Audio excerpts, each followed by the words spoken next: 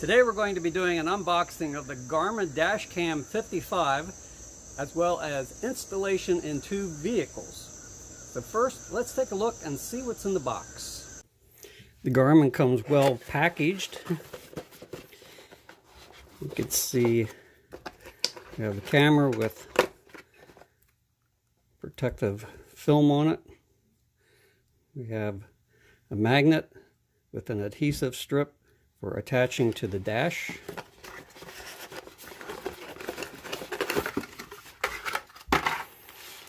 We have an extra adhesive patch. You have your cigarette lighter power cord, which is 19 feet long. We have a USB connection that is 19 inches long. And some basic directions. So let's compare the camera to a GoPro.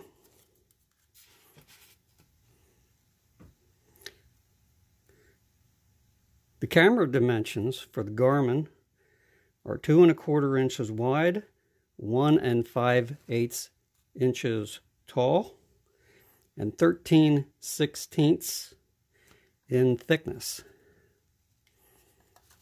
If we compare the two side by side,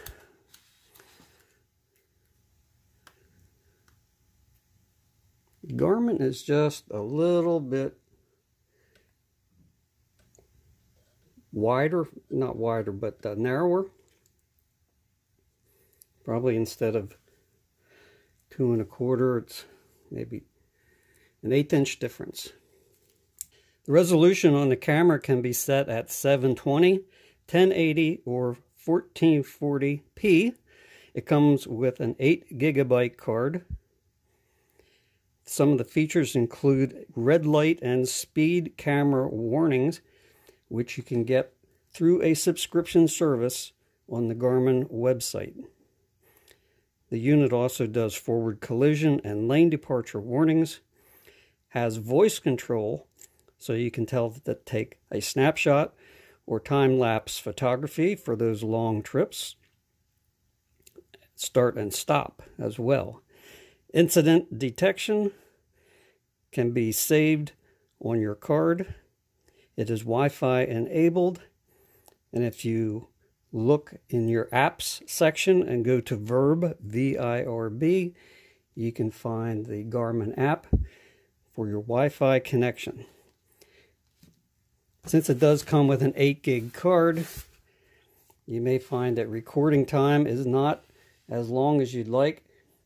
The unit will take up to a 64 megabyte card or gigabyte card and you want to make sure that is a class 10 card. There isn't much that comes with the unit in the way of instructions but one thing they will tell you is that when you're going to attach to your windshield you have to give the sticky mount 24 hours to cure before you actually hang your unit.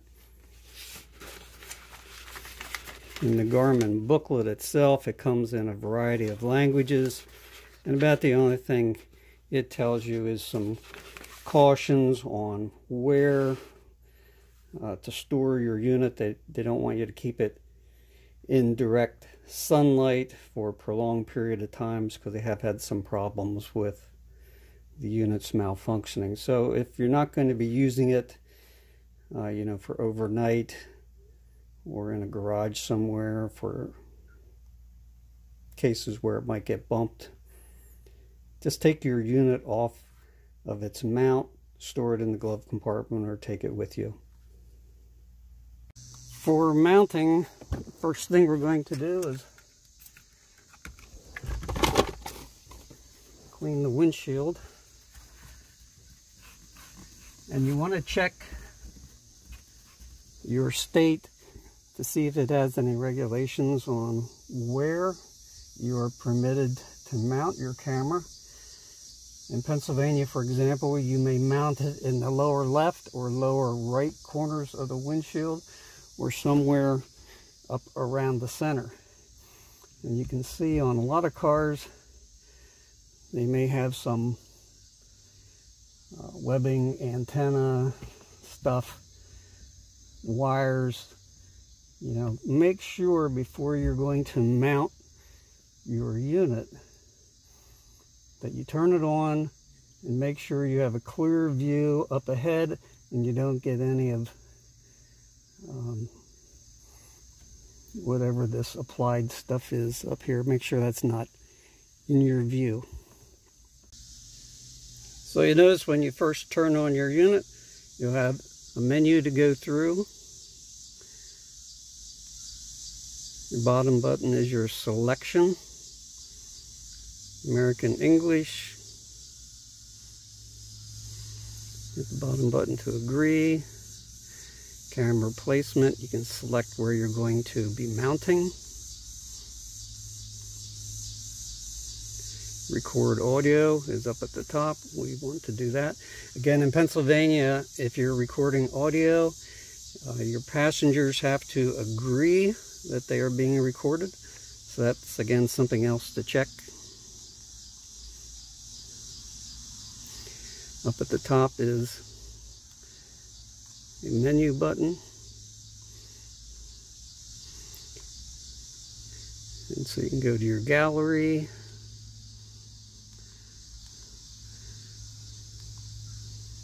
Voice commands. Go to settings.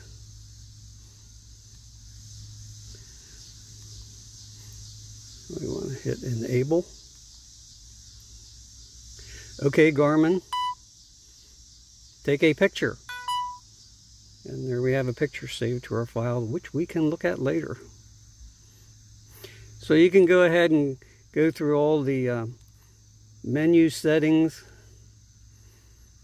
You've got driver assistance. We have forward collision, go alerts, So again, you can go on YouTube and there are other reviewers that will give you a lot of detail on how to do this.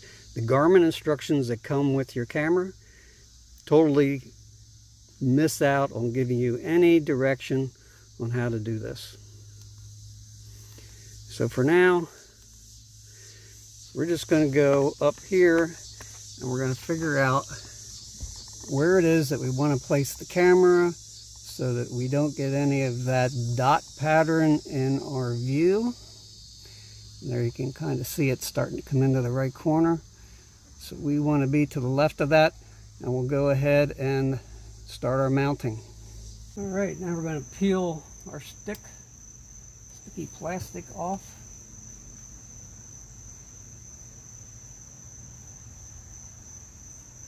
Mount the camera and pull that off. Push that on there good and tight. And we'll come back to that and hang our camera permanently in 24 hours. So the next thing we're going to be doing is running our wire along the top edge of the, the ceiling structure. And for that, made myself a little wooden pry bar kind of tool. And that's just to help lift the material back enough to get my wire started. You can also use that to push your wire up through there.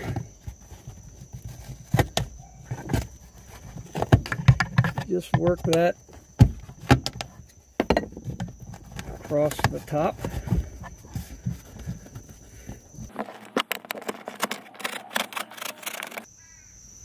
Here we have a curtain airbag, so we want to avoid that.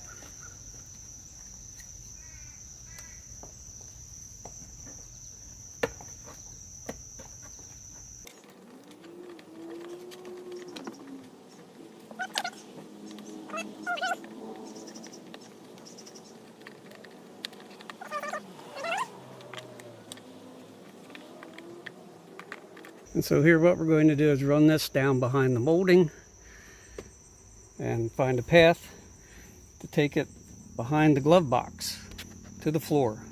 So we've run our wire down along the side and now we'll go underneath the glove box and fasten it up in there bring it back out to our cigarette lighter.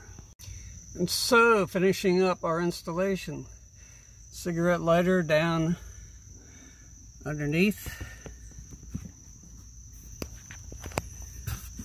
And that runs under the air vents back here at installed one zip tie to hold it up. Any excess wire was bundled up and just tucked up under the inside. And there's our corners. And that's it. Now we're going to move on to our next vehicle, which will be a Ford C-Max. So our next car is a Ford C-Max, and we're going to do the same thing. We're going to pick our location, make sure we have a clear line of sight, that we don't pick up any windshield obstructions clean the windshield and we'll mount it.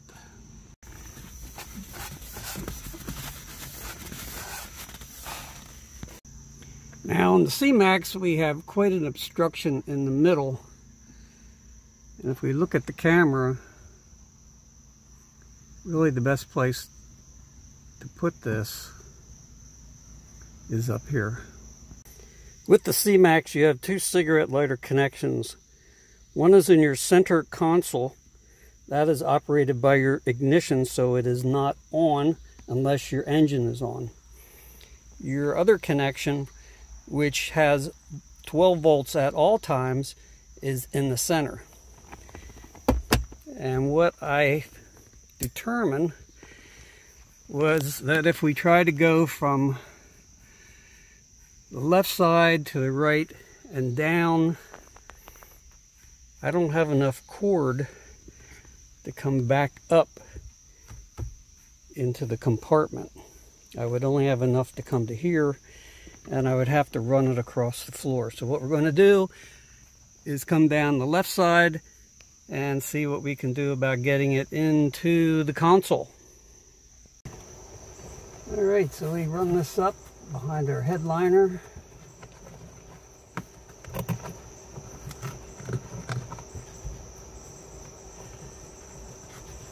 Make sure we have enough cord.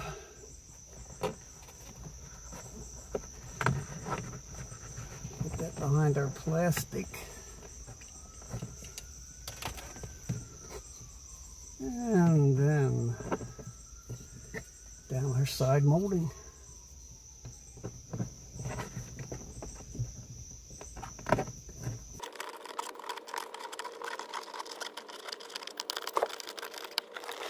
So we're going to finish running this down the side and under the rocker panel.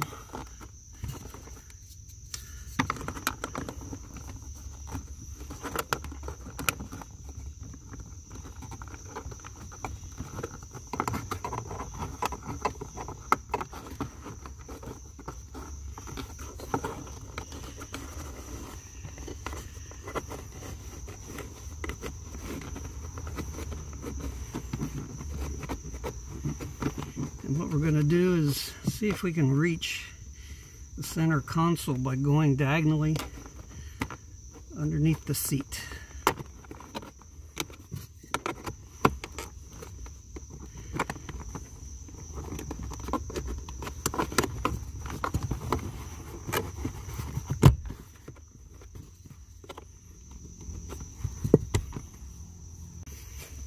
All right, we'll fish this across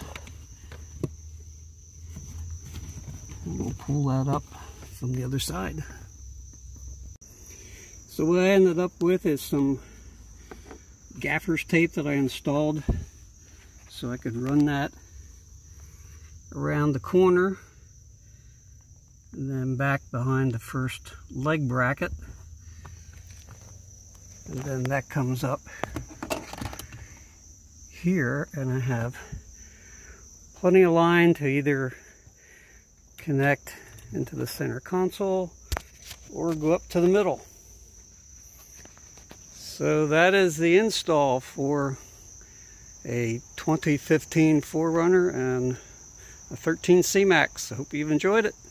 If you learned something, give me a thumbs up. We'll see you next time.